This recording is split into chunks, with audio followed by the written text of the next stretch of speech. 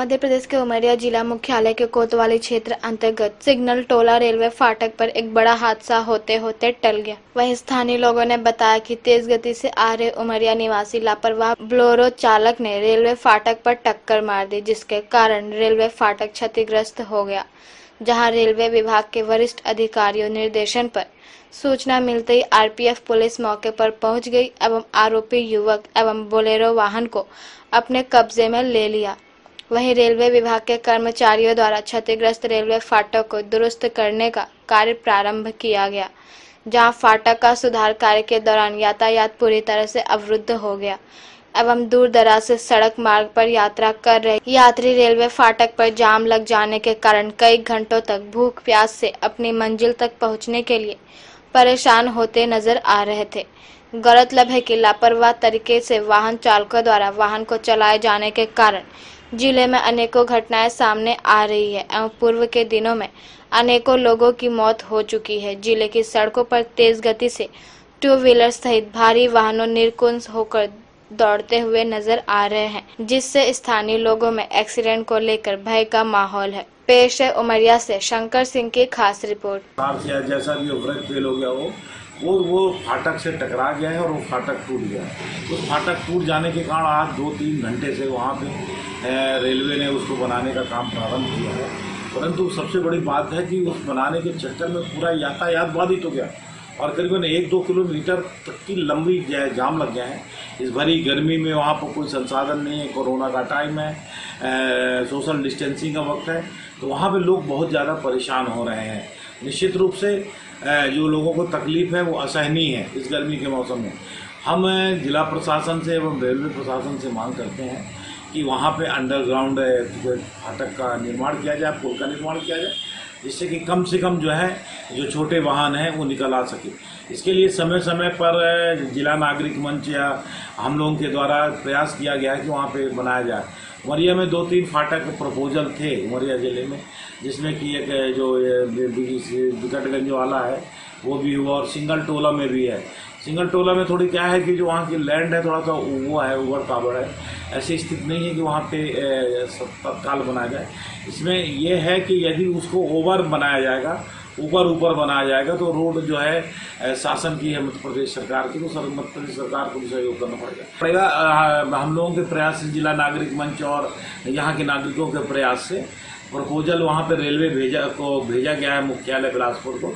हम अपेक्षा करते हैं शीघ्र से शीघ्र वो प्रपोजल में कार्रवाई शुरू होगी बजट आएगा और शीघ्र से शीघ्र जो फाटक अंडरग्राउंड फाटा वो बनेगा, पुल या फाटक के रूप में, उसमें लोगों को जाने को मिलेगा, ऐसे में अपेक्षा करते हैं। परंतु जो आज घटना घटी है, उसमें लोगों की तकलीफ़ हुई है, उसको ध्यान में रखते हुए रेलवे प्रशासन शीघ्र से शीघ्र इस प्रकार का निर्माण करा। थाना क्षेत्र के अंतर्गत सिंगल टोला एक फाटक आता है। वहाँ पर एक नशे की हालत में बोलेरो ला करके उन चालक जो है चूँकि नशे में था ऐसे जानकारी मिली है। और ला करके बंद फाटक में उसने जो है फाटक में ला करके उसने अपनी गाड़ी को जो है मार दिया है। और ये है कि प्रशासन पहुँच गया है पुलिस अपनी कार्यवाही करती है। लेकिन फिर भी इस तरीके के जो चालक हैं वैधानिक उन पर जुर्माना होना चाहिए और उसमें कोई रू रियायत नहीं होनी चाहिए। रह गया सवाल ये है कि फाटक का प्रपोजल गया है चूँकि ये रास्ता जो है जबलपुर, सहपुरा और इधर ताला वगैरह का सभी जगह को रोकता है जोड़ता है। तो यहाँ से आवागमन का साधन अवरुद्ध मार्ग न हो, इस वजह से शीघ्र ही जो है अंडर ब्रिज बनाए जाने की आवश्यकता है। इस नया फाटक नहीं लगा मरम्मत के बाद।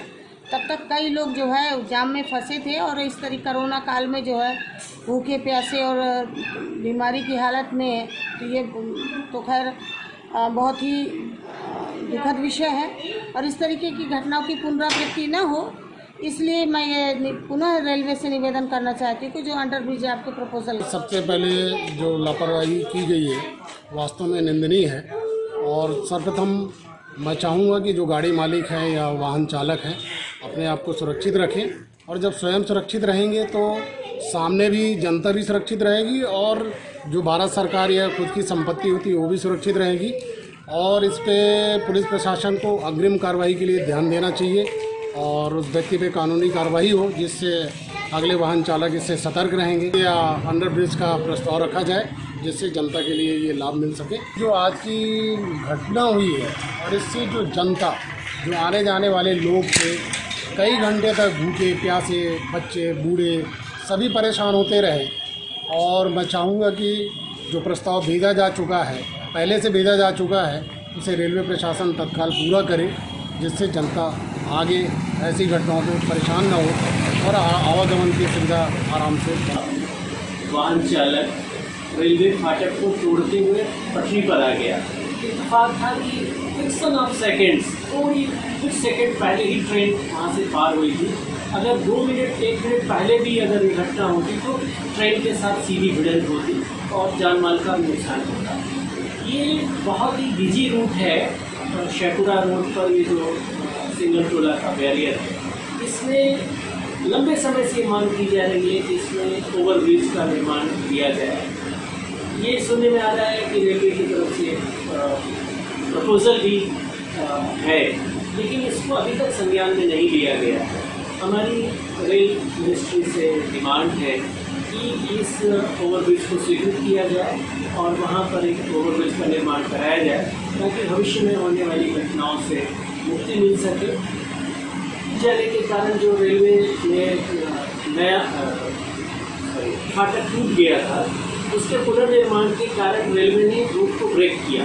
जिसके कारण हज़ारों की तादाद में लोग परेशान हुए कि भीषण गर्मी में न पीने की पानी की सुविधा थी न कहीं कहीं छायादार कोई जगह थी जहाँ लोग बैठ पाते या सुस्ता पाते या पानी पी पाते या चाय पी पाते। बड़ी परे, परेशानी में लोग रहे कुछ लोग तो दूसरे कई रूटों से डाइवर्ट हुए छोटी छोटी गाड़ियों वाले। लेकिन बड़ी गाड़ियों वाले लगातार फंसे रहे और इस तरह की घटनाएँ अ, मानवीय संवेदना का सवाल है मुझे लगता है कि जो चीज़ें डेवलपमेंट के ज़रिए नकारी जा सकती हैं उनको नकारना चाहिए। और एक अगर ये डेवलपमेंट किया जाता है वहाँ और ब्रिज का निर्माण। सर ये फाटक टूट गया हमको पत्ती लोड करने जाना है बहुत देर से जाम में फंसे हुए हैं यहाँ पर। जा रहा हूँ साइकिल गाड़ी फंसी है लोग भूख प्यास से मर रहे हैं सर जाने के लिए कोई साधन नहीं है ये नहीं है सुविधा नहीं है जल्दी जल्द फाटक बन सके। इसलिए आदमी परेशान ही बहुत दिक्कत नहीं है।